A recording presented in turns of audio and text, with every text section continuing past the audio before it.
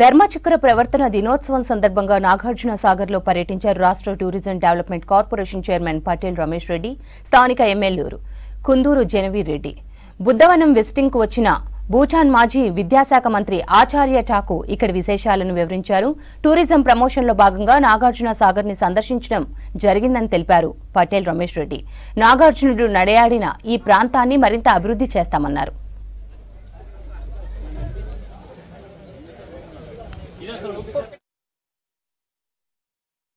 మరి ఇంత అద్భుతమైన కట్టడం కానివ్వండి ఇంత అద్భుతమైన ప్రదేశం ఈ ప్రాంతంలో ఉండి మనం తెలుసుకోకపోవడం కూడా దురదృష్టకరం.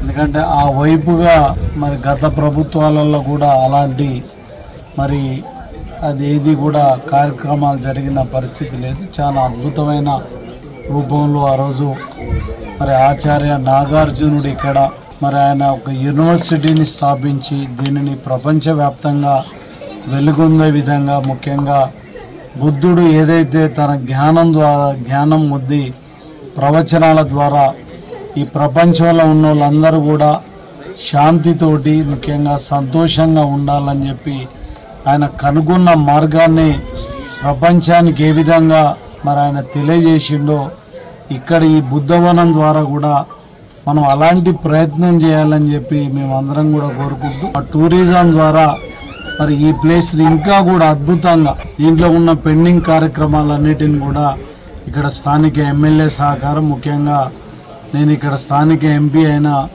రఘువీరారెడ్డి గారితో కూడా నేను మరి మాట్లాడటం జరిగింది. మా మంత్రి జూబెల్లి కృష్ణారావు గారు ఉన్నారు. ముఖ్యంగా ముఖ్యమంత్రి గారితో కూడా మరి మేము దగ్గరికి వెళ్ళి మరి మా ఎండీ గారి సహకారంతో ఇక్కడ పూర్తి స్థాయిలో కూడా దీనిని నిర్మాణాన్ని పూర్తి చేసి ముఖ్యంగా ఇప్పుడే మరి మా ఎండి గారికి కూడా చెప్పడం జరిగింది. ఇక్కడ ఇంత ఉన్నతమైన ప్రదేశం ఉన్నదని మరి ఎవరికి కూడా తెలిసే పరిస్థితి లేదు.